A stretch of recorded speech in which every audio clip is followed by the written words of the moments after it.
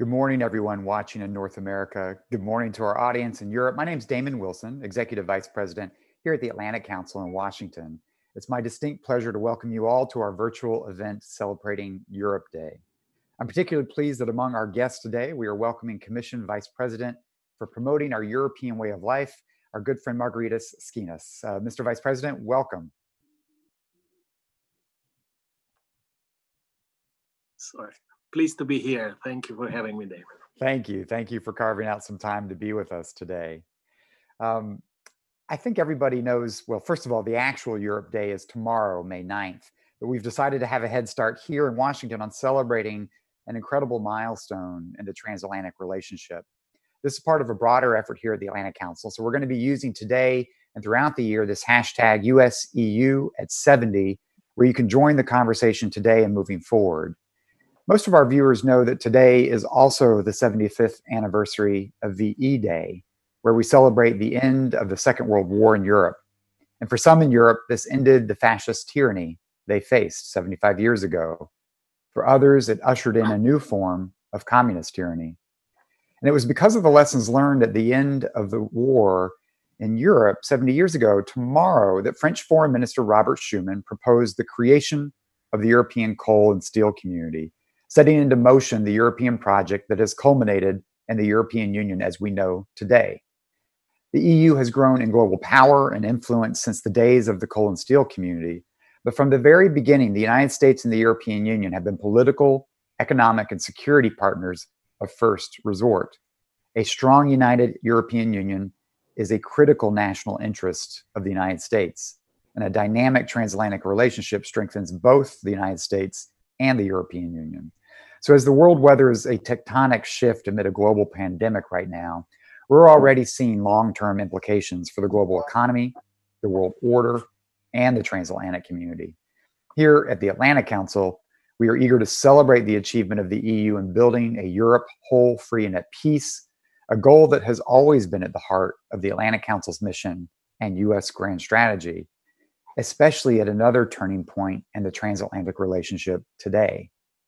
In fact, through former Secretary of State Dean Acheson, who was one of our co founders, the United States in 1952 was the first non member state to officially recognize the European coal and steel community.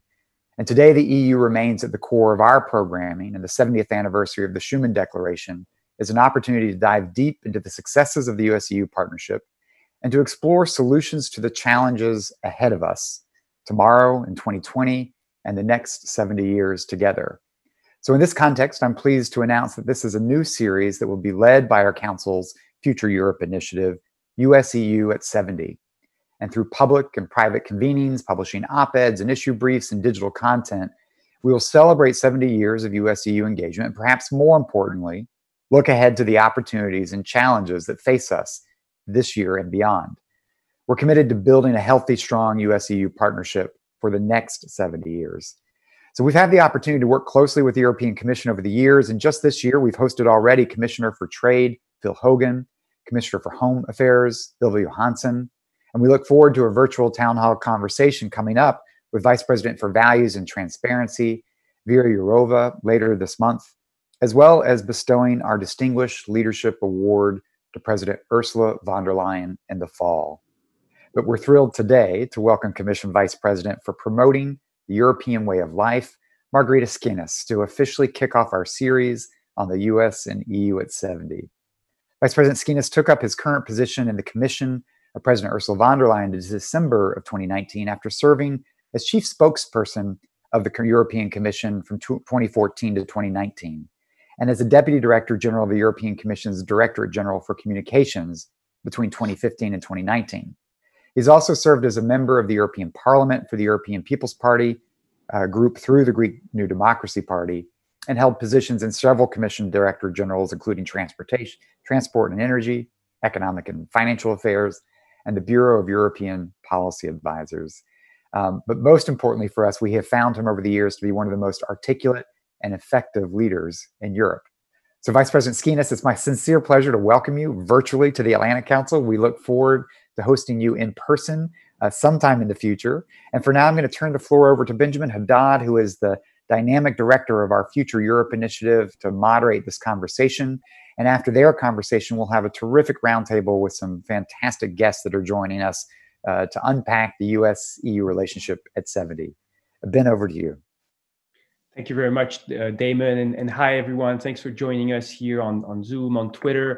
Uh, I'm Ben Haddad. I'm the director of the Future Europe Initiative. And thank you, uh, Commissioner Schinas, for uh, joining us today to celebrate Europe Day and the transatlantic uh, relationship. We'll be with you uh, for 15 minutes and then we'll turn to our, our roundtable on the transatlantic relationship. Before I turn to you, uh, Commissioner, just a few ground rules for people who want to follow us on, on Twitter, on social media. You can use the hashtag USEU at 70, hashtag US EU at 70.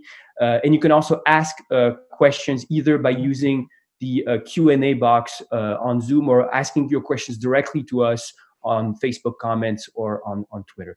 Uh, Commissioner Schinas, great to see you. Thank you uh, so much for joining us. So let, us start obviously with the, the, the, the direct pressing challenge at hand today. We, this, this 70th anniversary comes at a very challenging time for the European Union. Many are talking about uh, divisions in responding to COVID 19. Should, should we be worried about the resilience of the, uh, the EU in this moment? Ben, I think that historically, um, Europe uh, always came out stronger uh, through crisis. Uh, let me put it differently. Probably our, our DNA is uh, made in a way that uh, needs some a bit of crisis to keep everybody together. If you look back, uh, when Jacques Delors came in the 80s and launched the single market, he did that after 30 years of total absolute stagnation at the EU level, where nothing had happened since the Treaty of Rome. In the 90s, when we had the food crisis like the mad cow disease and dioxins, this pushed Europe to have the, the, the, best system of food safety in the world. Then, in uh, the crisis, the financial crisis, and the, the Greek debt crisis, Europe was able to develop instruments like the EFSF, the ESM to cope. So I have no doubt that uh, Europe will come out stronger from from the pandemics. And I I also say that uh, you know um, one should judge Europe not on how many times it, it faltered, but on how many times was able to stand back on its feet. Yeah, so you say Europe needs crisis to move ahead, to move forward, and will come out stronger this, uh, from this crisis. I want to ask you. So the the uh, von der Leyen Commission has uh, started with with very strong global ambitions. Uh, you know, making the case that Europe should reassert power on the world stage and calling itself a geopolitical commission. Can you tell us what that means, the geopolitical commission, and especially what it will mean in the world post COVID 19?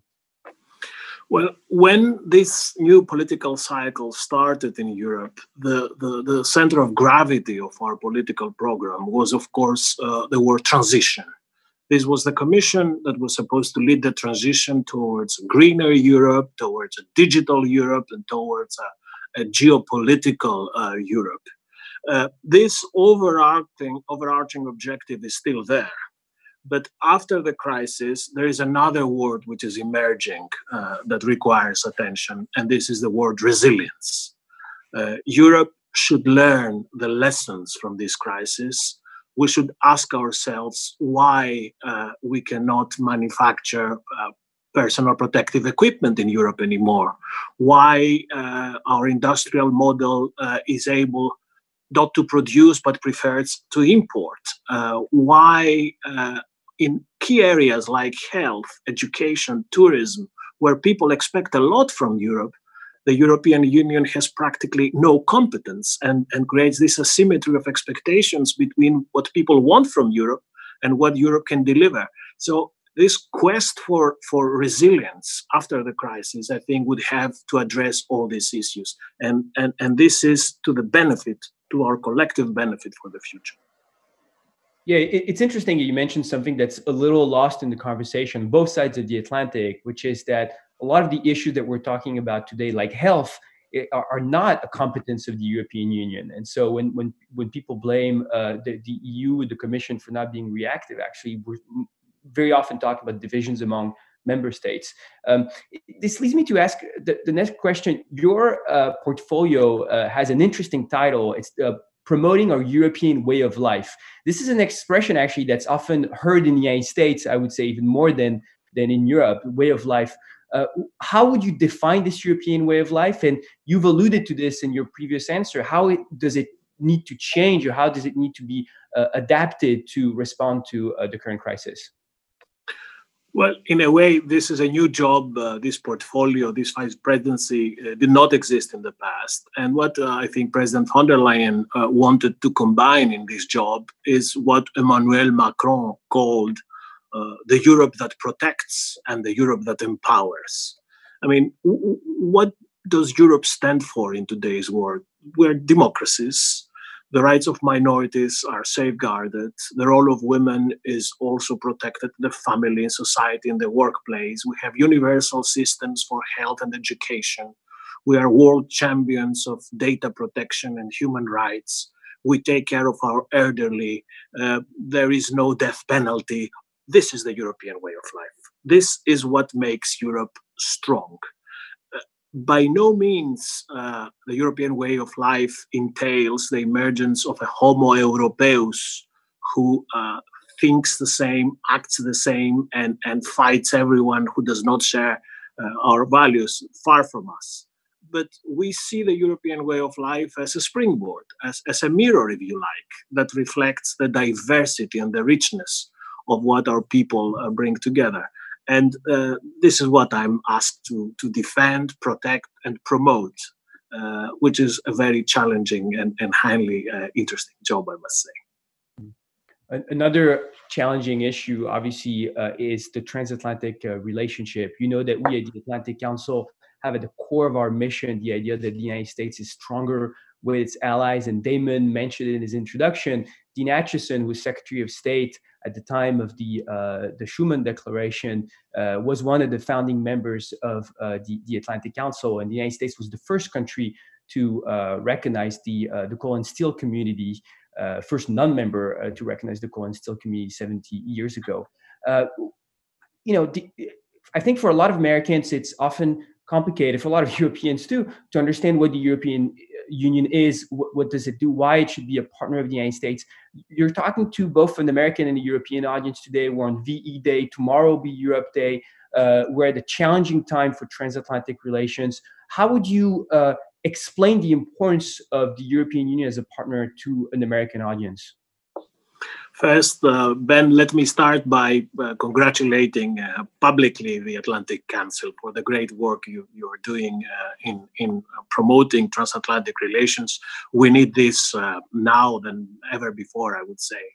Then, on, uh, on the European integration project and how one would explain this to an American audience, I would start by saying that this is um, very much uh, reminiscent of the American experience. This is this is the model. The, the model is uh, what it started with the Declaration of Independence in the states. Here we started with the Schuman Declaration. Uh, 250 years ago in the states, just 70, 75 years in Europe. But we haven't done that badly. Huh? We, we, we have a, the biggest market in the world, the, the better regulated market. We have a system of values and the soft power appeal, which is universally recognized. We have a common currency. We have a bank. We have a court. Uh, we already have pre-federal structures that are more or less, I would say, copied along the model of the American of the American system. But if I were to be asked for for for three things why why Europe uh, still matters after these 75 years, uh, I think these are obvious. First, because because of our integration, this is the longest period of peace that Europe enjoyed since the Roman times our, our fathers and our grandfathers at some point either fought a war or they slept with an arm next to them. Uh, there are now two, three generations of Europeans that we live in peace, and, and this is uh, inestimable. It is precious. The second thing is that we Europeans now uh, have improved our standard of living eight times. We have a, a remarkable increase in our standard of living through this period of 75 years. And thirdly, Europe today is how should I put it? Is is is a beacon of light in a world that is becoming darker. We we stand for liberty, for freedom, for truth, for honesty. We are on the right side of, of history, if you like. So these three achievements, these three historical accomplishments must be understood by the American audience because this is in our joint common Western uh, um, framework of values and systems. Yeah, in, in our joint uh, Western framework of values. Thank you so much, Commissioner Schinas, for taking on your busy schedule to join us this morning. Uh, you're a great friend of the Atlantic Council. You can count on us to continue to promote the transatlantic way of life, if you allow me to say it. Uh, and and we're looking forward to uh, to seeing you soon in in Washington. In the meantime, please stay uh, safe and healthy. Thank you very much. Thank you, Ben. Merci. Thank you. And, and let's now turn. We have a, a great group of, of, of experts and officials to continue this conversation with us on US EU 70 years together, the way forward. Uh, and I'm very pleased to be joined today by uh, Nathalie Loiseau, a member of the European Parliament, the chairwoman of the Defense and Security Subcommittee at the European Parliament, was previously the French Minister for European Affairs, by Ambassador Dan Fried, the Weiser Family Distinguished Fellow at the Atlantic Council, and a former US Assistant Secretary of State for European Affairs and a former ambassador to Poland. I have uh, Dr. Torrey Taussig, Research Director, the Project on Europe and Transatlantic Relations at the Belfer Center uh, at Harvard University, and a non resident fellow at uh, the Brookings Institution. And Dr. Anu Bradford, a professor at Columbia University and the author of The Brussels Effect How the European Union Rules the World, a book, a great book on, on the EU regulatory power that was uh, published this year. Uh, let me start maybe with you, uh, Nathalie. Uh, we, we, heard um, Commissioner Schinas talk about the importance of our common values in the transatlantic relationship, but obviously we've seen divisions uh, in the transatlantic relationship this these last few years. we see divisions within the, the European Union. W- what should be our transatlantic priorities coming out of, uh, of this crisis to, to reshape, I would say, uh, our, our institution and our world order in, in the next few months? Well, first of all, uh, hi, Ben, and it's a pleasure to be with you. Uh, to answer your question, what has happened in the last few weeks with uh, transatlantic relations missing in action. Uh, we faced the crisis uh, in a very uh, distanced way. United States, Europe, we all tried to solve this crisis without almost talking one to another. there was very li- little American leadership, uh, even if uh, the United States chairs the G7 for the time being. Um, and uh, Europe started by being divided. Then it woke up uh, and then it, it is finding its way. Why is it a problem? Uh, first, why uh, should uh, your side of the pound fear a divided and weak Europe? Why wouldn't you benefit from a weak Europe? Uh, simply because um, Europe is your best, the most reliable ally, and maybe, maybe the only one at this moment uh, in history. If we don't want the world to be shaped by uh, China, uh, if we don't want to let Russia keep on with uh, uh excessive assertiveness, we have to work together, the United States and Europe. And um, Europe means a united Europe. divided member states will not be up to the challenge of China, of Russia, and of what we are facing together. So, yes, indeed, we have to do more. We have to wake up, we have to reinvent a, for- a form of oh, this gross word of multilateralism, which is not very uh, fashionable uh, right now uh, in Washington. Uh, maybe not the old style multilateralism. I will not praise United Nations for what they are but I would not turn my back and say that we don't need them anymore. We have to fix what doesn't work uh, instead of breaking things even more than we've done uh, so far. Uh, thank you. I, I, appreciate that you mentioned Russia and China and you talked about reforming multilateralism. Uh, I think these are important challenges that we'll talk about in the next hour. Uh, let me turn to um, Ambassador Fried. Uh, you've been Assistant Secretary of State for European Affairs. You've actually dealt with previous transatlantic crisis. And I, I want to have your thoughts on how this compares to the, the moment we're living now. And if you're, uh, uh, I think you're a natural optimist about the relationship, but uh, where do we go from here? Um, there's plenty of gloom around. It's sort of the op ed writing trope to talk about um, the West facing insurmountable obstacles on the way to inevitable disaster. But I'm, I'm old enough to remember the 1970s when things were also falling apart, and that was also the standard cliche. Um, look, the EU is a miracle, and a strong Europe is good, a strong EU is good for the US. And let's not forget that a strong Europe was supported from the beginning by the US if it wasn't our idea in the first place. Um, so the anti Europe rhetoric from some parts of the Trump administration is ahistoric, it's nonsense. Um, we do have problems. The, the US risks falling back to its worst 20th century traditions of unilateralist transactional nationalism. Um, the EU has problems.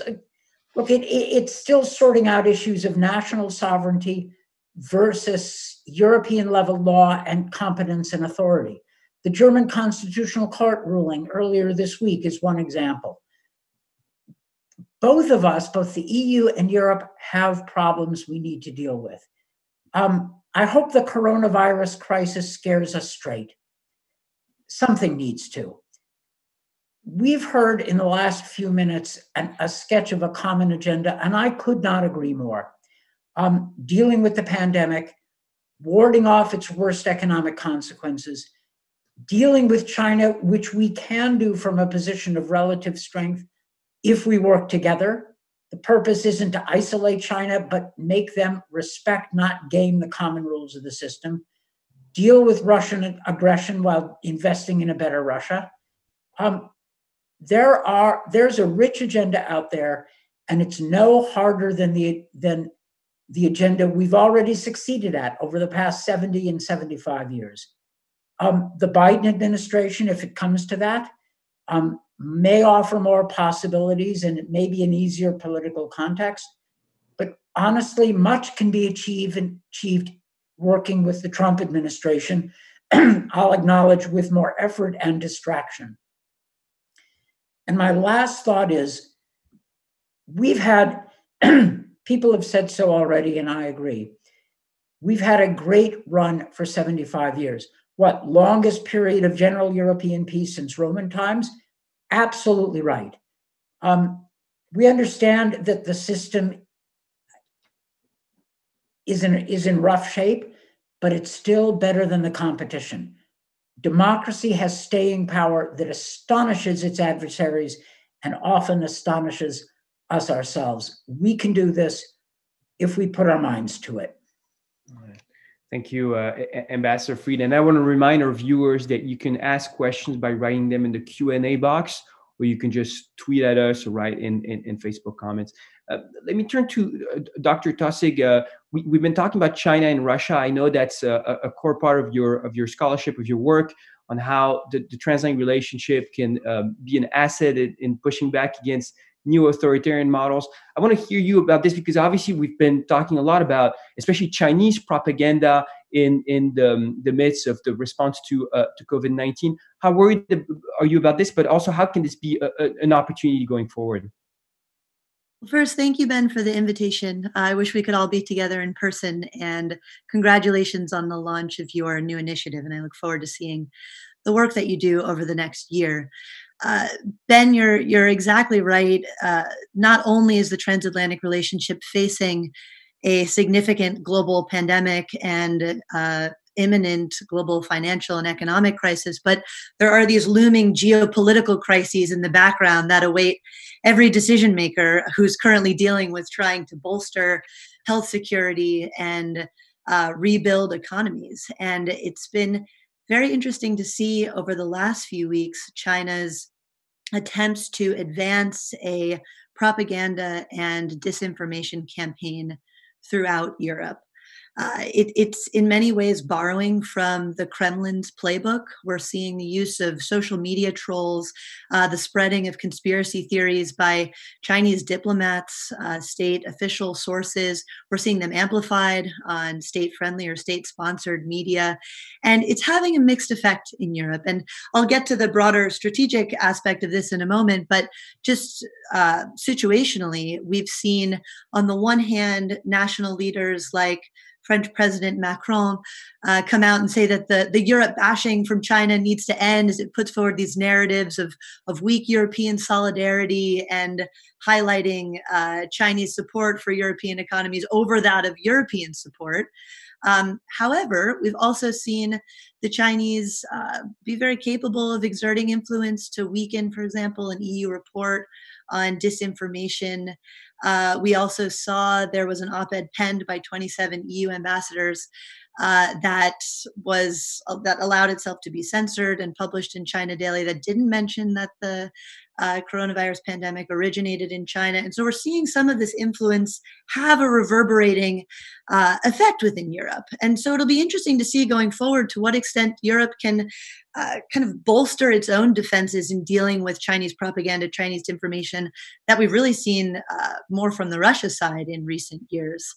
But this this begs the broader question about how uh, the United States and Europe can work together to counter Chinese influence, uh, economic coercion, and uh, as Ambassador Fried mentioned, yes, it would be better if we had uh, a, stronger transatlantic relationship, but there's so much that Europe can do on its own to bolster its resilience vis a vis China.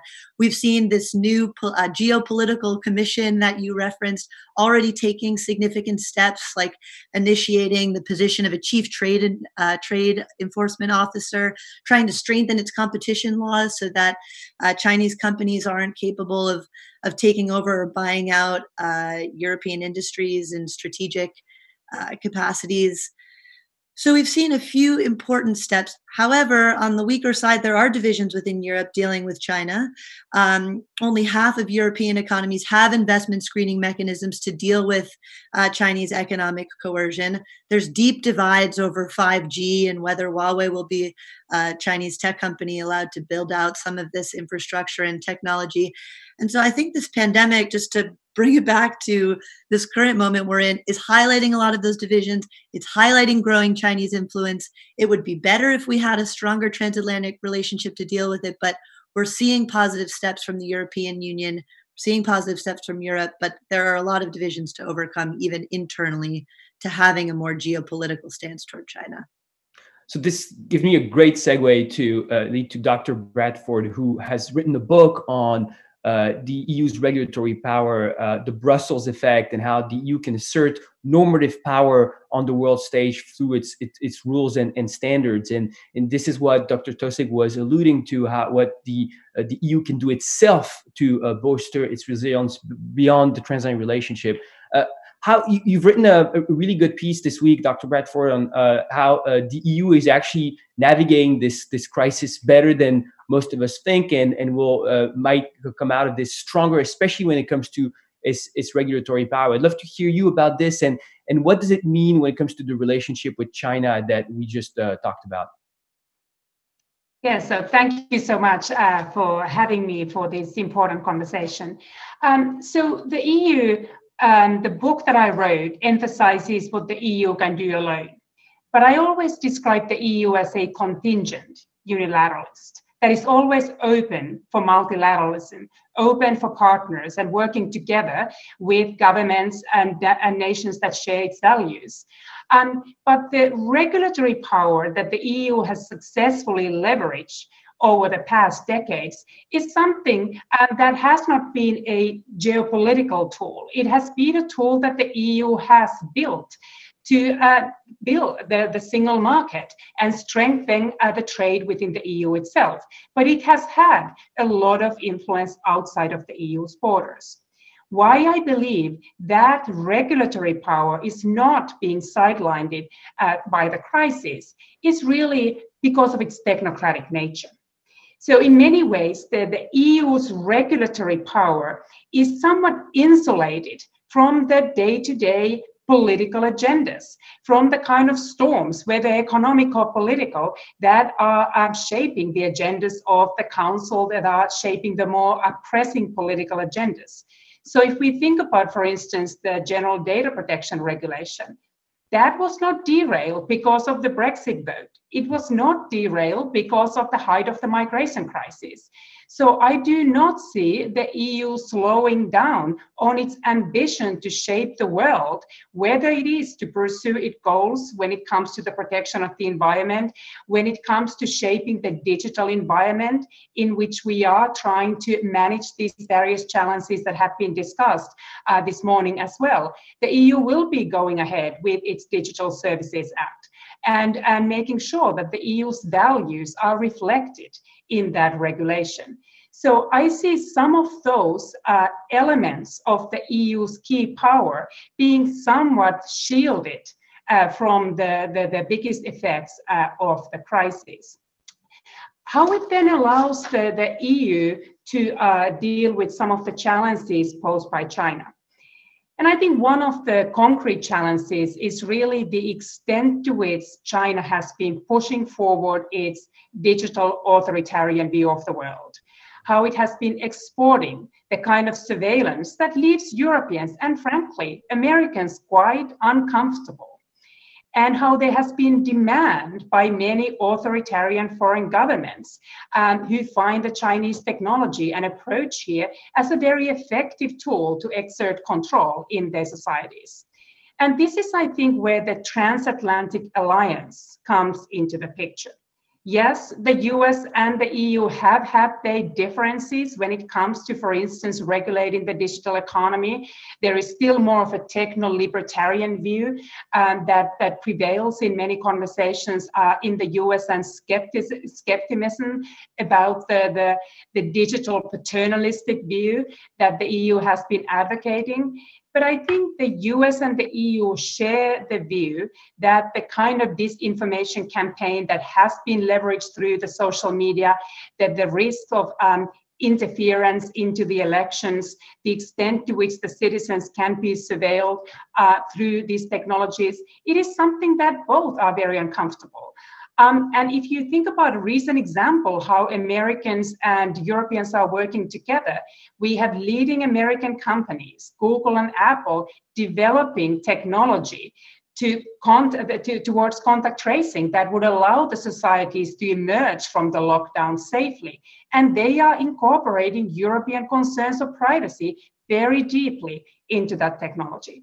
So I see a lot of reason, a lot of possibilities of success in the US and the EU working towards their goals jointly post pandemic.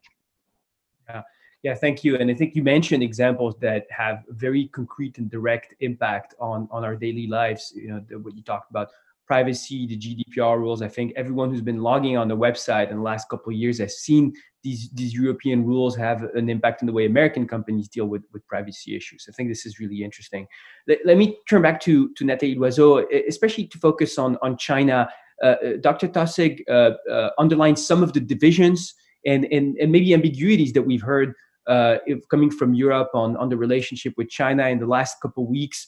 Uh, you know, last year the, the, Commission released a pretty strongly worded paper, white paper on the relationship with China, calling China a systemic rival. Um, but at the same time, and we heard uh, Joseph Borrell, the High Representative, also a few days ago, saying the Europeans had been naive when it comes to the relationship with China. But there's also this this op-ed that was censored uh, by the 27 ambassadors that was mentioned, and obviously a lot of divisions among member states with the 17 plus one framework with Central and Eastern European countries, or uh, Italy uh, signing a memorandum of understanding with the Belt and Road Initiative uh, last year. Um, what do you think? You know, where where do Europeans stand today? It's a large question, but on the relationship with with China, what are the differences with the U.S. Because it it seems from this side of the Atlantic that uh, Europeans have also been stepping up th- their concerns and rhetoric uh, uh, with Beijing, but for some reason we we don't we still don't see eye to eye between the U.S. and and, and Europe. What's missing? Oh, well, you give me two hours to answer, I, I think. Um, uh, China is the number one uh, issue uh, that uh, people are working on uh, in the European Union if we think about relations with the rest of the world. Uh, and it's mixed situation, as you rightly mentioned. Um, for instance, in Italy, at the very beginning of the pandemic, the EU was slow to react, and that's a fact. And China did its, its propaganda uh, with its mask diplomacy, providing equipment uh, uh, and masks to Italy, uh, making more noise uh, than good. Uh, and it worked uh, because people were desperate. But at the same time, it backlashed at some point because of um, very clumsy efforts of disinformation, which basically shocked a number of Europeans.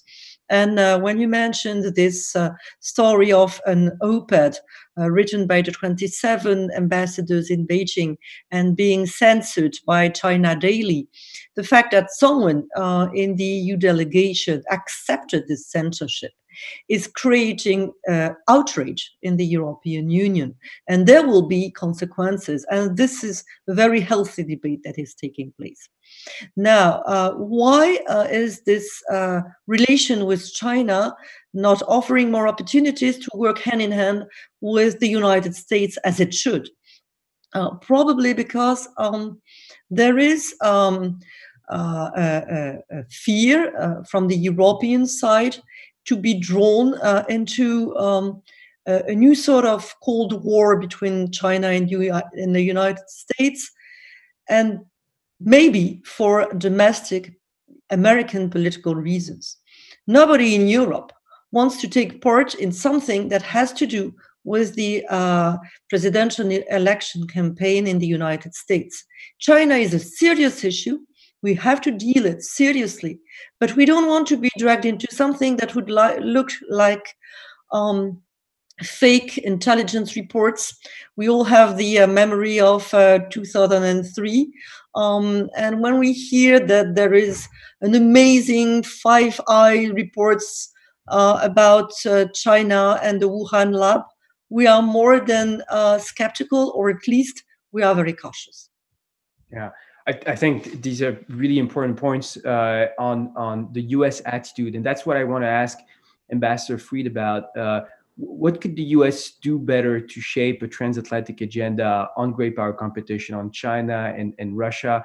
As uh, Nathalie Loiseau just mentioned, uh, there are uh, legitimate concerns on the European side with siding with, with this administration. We've seen also just a lot of uh, uh, unhelpful noise in the transatlantic relationship on on tariffs, on uh, rhetoric that the EU is is worse than China. I mean, what what should be done to to improve this climate? Well, the good news is, and this con- this conversation demonstrates it.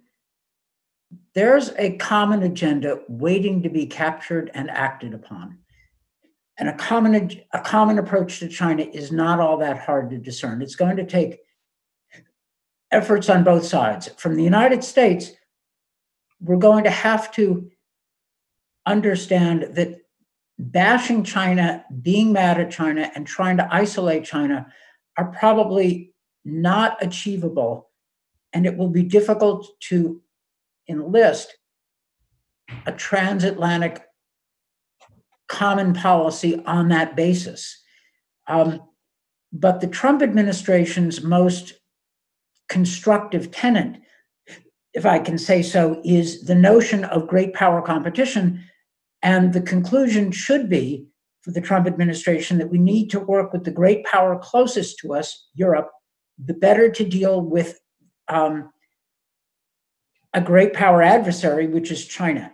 So we're going to have the Americans are going to have to moderate their ambitions. The purpose is to bring is to get China to adhere to the rules-based system rather than game it. Europe is going to have to decide whether it will actually step up politically and strategically in a way commensurate with its strength. We've heard a lot of talk about Europe's power to shape events using its regulatory strength. I agree with that completely. Um, both sides need to take a step forward. The United States in the direction of work of more achievable goals, Europe in the direction of actually recognizing and asserting its power. This is doable.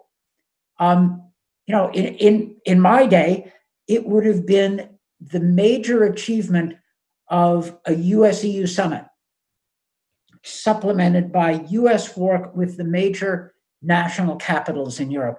This is doable. Um, it's not easy, but my sense is that Europe is moving in the direction of a stronger uh, relation, a stronger position vis-a-vis China, um, and I think it would be ready to meet the U.S. halfway if we were going there. Yeah, and, and let me just ask you, Ambassador Fried, a follow-up question because you mentioned the, the rules-based order that Nathalie Loiseau and others talked about uh, multilateralism, but a different kind of multilateralism. We've seen uh, divisions over the uh, U.S. decision to defund the WHO, um, but what you know, what's also a positive agenda on on multilateralism going forward? I know this is something that you work uh, a lot on, and and sometimes even Americans and Europeans who defend the liberal order or defend multilateralism don't necessarily mean the same thing by it. So how do we prevent these these misunderstandings? So multilateralism to an American ear sounds like can sound like fatuous weakness and a desire to get along at the expense of substance. That's not what it means. It means using multilateral institutions um, to advance shared objectives. Um, you wrote, Ben, you wrote with Gerard Araud, um, who has been known to be a, a strong critic of some aspects of US political culture. You wrote, I think, a wonderful example of how to use multilateralism right. You, and Gerard Araud talked about um, a strong transatlantic approach to the WTO, where we don't, the WHO, um, World Health Organization, where we don't try to trash it, but we try to get it to play at a higher level. And that was an example of tough minded, clear eyed multilateralism. Multilateralism doesn't mean simple process. It doesn't mean um, it doesn't mean process over substance. It means using, it means building alliances to achieve shared objectives. Um, so that kind of a definition is workable. And the EU should understand A, that it is strong, and B, that it, it has to use that strength if it's going to maintain itself in a difficult world and maintain a strategic alliance with the United States to deal with problems outside the transatlantic community. Oh, yeah, and the US is obviously going to have to stop tr- picking fights with everybody all the time you know, if we have a problem, an economic, if we face an economic challenge in China, we shouldn't be burning through our political capital with Europe by talking about car tariffs. Yeah. So tough-minded, clear-eyed multilateralism. Uh, I'm going to ask the same question actually to to Torrey Taussig. Uh, you know, there's going to be so much on the agenda to get out of this economic crisis, and obviously we're seeing uh, the, the, the risk of rising nationalism, of inward looking solutions. Um, there's so much to be done, and what, yet we have divisions on WHO, on the WTO. I mean, how how can the U.S. reshape a, a positive agenda and, and reclaim a, a, an international uh, uh, narrative? Thanks, Ben. I wanted to dovetail off of Ambassador Fried's excellent comments and, and move the conversation from China to this positive transatlantic agenda that you've mentioned, because I think there are three things that need to happen in order to have a more coherent strategy toward China, but also just to, to look toward a more positive transatlantic agenda moving forward. Um, number one, this is more on the strategic level. First, I don't think we've seen the US pursue a, a fundamentally strategic relationship with Europe since the mid 1990s. And now, at least according to the US national uh, security apparatus, we are in this new geopolitical moment. Primary challenges facing the United States are revisionist, authoritarian uh, states, including Russia and China. However, Europe strategically has fit into this paradigm as either a pawn of great power competition or an object of great power competition. It looks once again stuck in the middle of a looming and impending Cold War. I completely agree with uh, Dr. Loiseau. That's not uh, in Europe's interest, and it's not uh, very conducive to getting a cooperative stance from Europe. So that's number one. We need to develop a strategic relationship with Europe that looks to strengthen Europe as an independent and geopolitical actor and not a pawn or an object between US China competition. I just think that's an inaccurate assessment of, of Europe's uh, geoeconomic and soft power in the world today. Number two, and Ambassador Fried mentioned this, in order to advance a, a positive transatlantic agenda, we need to reset this this relationship first. That means uh, taking a very hard look at some of the tariffs uh, and economic rhetoric that the Trump administration has been putting forward. The Section 232 tariffs on steel and aluminum, saying that uh, imports from our European allies threaten our national security. That's not conducive to coming up with a cooperative economic agenda toward China or on any other front uh, as we look to advance uh, trade agreements, trade processes with the European Union moving forward. Same with the auto tariffs conversation.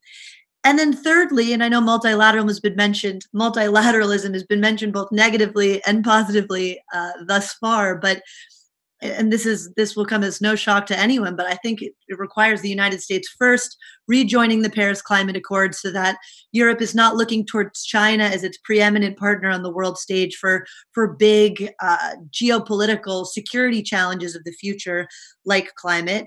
It will mean kind of cooperatively and substantively working with the Europeans, working with the Japanese at the WTO, instead of bashing the WTO, to address shared grievances on China, whether that be IP theft or trade subsidies. I mean, the, the grievances are there, but it requires a, a, reset at the strategic level, at the economic level, and then also rejoining at the multilateral level that uh, at institutions where America has concrete interests. And only at that stage could you start to develop a more positive transatlantic agenda moving forward, whether that be on China or any other issue. Thanks. That that's terrific, and I love the idea. And I've, I've you know we've, we've done some work on this on strengthening the, the Europe as a as its own autonomous actor, as as an asset for the transatlantic relationship. And I, uh, we have a, a, a, few questions already. Let me uh, finish this this round with with Dr. Bradford, and then we can turn to to some of the questions asking you the same thing how can we moving forward especially out of this crisis shape this this positive transatlantic agenda so I think multilateralism and engagement in international institutions is a traditional strength of the European Union. But I think the EU and the US as well need to be more strategic and more creative in how to find productive ways to engage in bilaterally, regionally, and multilaterally. So there are certain international organizations which just need to be prioritized and where the agendas can uh, be very similar between the US and the EU. One is the ITU, the International Telecommunications Union, where the China has managed to become a leading voice, and where the US and the EU would need to push back and make sure that their values will be reflected on the agendas when it comes to the governance of the internet we also may need to rethink some of the agendas that have been multilateral. So, if we think about the rifts over NATO and national security, I think this pandemic invites us to rethink our joint national security interests, go beyond the traditional NATO agendas, and see global pandemics, migration, climate change through the lens of national security, and put those on the top of uh, ways where the US and the EU can work uh, closely together. And we also may need to think about the multilateral cooperation in, in rethinking the specific alliances that we have. And when the EU works with the United States, the United States is not just the White House. There are other branches to the government. It is a federalist uh, state where we think about ways to work with the governors, to work with the mayors, I think climate change is one of the uh, areas where, if the United States decides that it walks away from the Paris deal, that doesn't mean that all the constituencies within the United States would have given up on an agenda where they can work together with the European Union. Yeah, you've actually answered one of the questions that we had precisely about this as uh, the you know we've seen Europeans reach out to to mayors, to governors, to uh, uh, private corporations to uh, work on, on on climate change after uh, the the administration decided to withdraw from the Paris Climate Agreement. That could be a new creative way forward, also for the transatlantic relationship beyond just uh, government to government relations. And I think it's a really interesting example. We've had a few questions actually on the key issue uh, that's been raised a lot these last few years and these last few weeks in, in the wake of the pandemic, which is democratic backsliding in, in Europe. There's been the example of Hungary that's been uh, mentioned a lot, but but also Poland, um, Hungary that was uh, a few days ago um, uh, mentioned, declared as a not a democracy anymore by uh, the NGO Freedom House. I know a lot of you have been actually working on these issues. So let me do a, a, a round a roundtable with first uh, Nathalie Loiseau and then Ambassador Fried for both a, a, European and a transatlantic perspective. What what should be done and how should that be part of the agenda? Uh, that's extremely important uh, because the European Union is not simply a single market, and especially uh, countries from Eastern Europe uh, didn't come to European Union uh, to join a single market. They, they, came because they wanted to get rid of dictatorships. They wanted to make sure that freedoms, uh, that rule of law would be protected. So we have a rule, and this is where we need a stronger Europe. For the time being, the treaties, the text that we have, don't provide us with much leverage uh, to force uh, the uh, member states who are drifting away from the rule of law to get back to normal. But there are ways, if we don't convince governments with ideas and values, we can convince them with money. That is to say, that for the time being, we are working on the next European budget for the uh, coming uh, seven years. And there should be a conditionality uh, for uh, getting European money, which is to respect the rule of law very simply. But you're right, this is another pandemic uh, taking advantage of the current situation. And for instance, you were mentioning Hungary. Hungary suspended its uh, parliament and uh, g- gave extraordinary powers to the prime minister. And decisions taken uh, thanks to these extraordinary powers have very little to do with the pandemic. It, it came to grant uh, a, a, railway between uh, Serbia and Hungary to a Chinese company or to get out of the Istanbul Convention uh, fighting uh, violences against women. So it's really serious. It's really taking place. And uh, once again, we would like Washington to stop playing games with uh, the most liberal of our leaders in Europe because if you name them, it's Poland, it's Hungary, and now it's Slovenia. And Donald Trump only had nice words uh, towards these uh, illiberal leaders. Ambassador Fried, you uh, co-authored a, uh, a, piece recently with uh, Associate Fellow uh, Denise Verstüber, sort of uh, writing a, a, roadmap for, for U.S. policymakers on how to engage this situation. Yeah, um, we need, as we're thinking about um, Hungary, for example, and I'm thinking of the Freedom House report earlier this week we need to distinguish between issues of democracy and larger pol- and broader political issues. We can't politicize our concerns and make it appear as if democracy and socially liberal are the same thing because they're not. We have to understand that electorates may vote in a conservative direction a culturally conservative direction. We have to respect that. But then we we have to be careful about drawing a line, but then we have to respect that line. Um, one of the tools may be for the EU to use its budgetary process. That's beyond my area of specialty. But we also ought to reach out, um, we non governments, the Atlantic Council, others, ought to reach out to the broader society in Hungary. Um, there is civil society, there are NGOs. We should not leave, we should not isolate the countries or let them um, think that we're going to hide behind cliches or just be angry. We need to reach out to them and think of a long game. None of this is easy, and God knows the United States is dealing with issues itself. Um, I'll just put it that way. But we do have options if we play this carefully. Yeah. Let me turn also to Dr. Taussig, who has written about this, and especially in, I think, the broader ideological context, context of, uh, of the rise of neo authoritarian models. Thanks, Ben. I, I, agree. I think what we're seeing in Hungary with response to the coronavirus pandemic has highlighted the democratic backsliding we've seen under the Orban government in recent years. We also had this back and forth debate in Poland over the last few weeks about whether or not to hold presidential elections this coming weekend. And it was decided recently, I think yesterday or the day before, that these elections would be put off. Um, until that point, it, it kind of looked like a power grab by the governing Law and Justice Party to move forward with unsafe elections so that a, a presidential incumbent, incumbent in favored could could move forward and win the next election.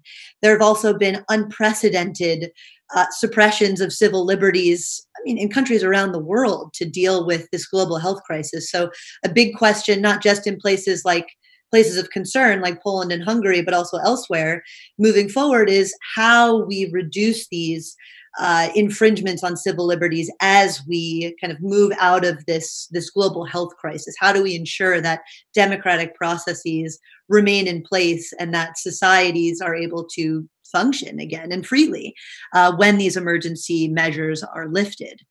Uh, I, I, would say, looking at an agenda moving forward, one way that the United States can work very closely with European allies is on developing and enacting a tough anti corruption agenda. This was a big, just to get political for a moment, this was a, a big component of Liz Warren's presidential uh, campaign and foreign policy platform. It's a it's an important component of the Democratic platform moving forward. I think there's a lot of interest, but also understanding that these neo authoritarian leaders were corrupt before they were anti democratic, and that they rely on kleptocratic networks to remain in power. And so, to the extent that the US can work with European allies to shut down illicit tax havens, to deal with tax evasion, to go after these corrupt networks that are being um, exploited by Russian malign influence, exploited by Chinese economic coercion. I think this is both in the interest of the US and Europe, and there is a significant platform for advancing this going forward. But I think first and foremost, this this pandemic has has really illustrated the ways in which anti-democratic governments are latching on to this health security crisis for their own benefit. Yeah. And a positive agenda on anti-corruption measures. I think that's a, a, great way to to conclude with Dr. Bradford uh, on on what how what role the EU could could uh, could play uh, in in in um, in shaping such an agenda. Yeah, so first of all, the EU, uh, by tolerating anything that is happening in countries like Hungary, and Poland, the EU is not only weakening uh, its own uh, standing uh, in front of its own citizens in the EU, but also its global normative power and the appeal of its values and its credibility to promote its values, rule of law, uh, democratic principles around the world. So the stakes are extremely high, and it's important that whatever happens in countries like Hungary right now are unambiguously condemned in the political by the political leadership in the EU. But I also would add um, that judicially, that we will have continue to bring these countries to the court. And we have the European Court of Justice uh, very clearly articulate why um, whatever these measures uh, these countries have pursued are inconsistent with the European treaties and European values. I also would add that um, the political parties in the European Parliament, the European People's Party, should not tolerate parties like Fidesz uh, on, uh, in its midst. Um, so the Europe needs to be very clear in distancing itself uh, from the kind of policies that are fundamentally against the foundational values of the European Union. And only then uh, the EU can reclaim its place in an international conversation in effectively promoting these values and also making sure, like uh, Torrey was saying, this is a global phenomena. We have a rise in authoritarian governments around the world. So uh, the EU is worried not only of what happens in the EU, but what happens around the world. Thank you. I'd like to thank all four of you for this terrific conversation and everyone who joined today. Uh, we're going to continue uh, these exchanges in the next few months. Uh, this this new series, US-EU at 70, to have these these frank conversation about how we can together shape a positive agenda to get out of this pandemic, to get out of this economic crisis, and and reshape a, a liberal border uh, border to, together. Thank you so much. Stay safe. Have a nice weekend, and and uh, I hope to see all of you very soon. Thank you. Thank you. Thanks so much.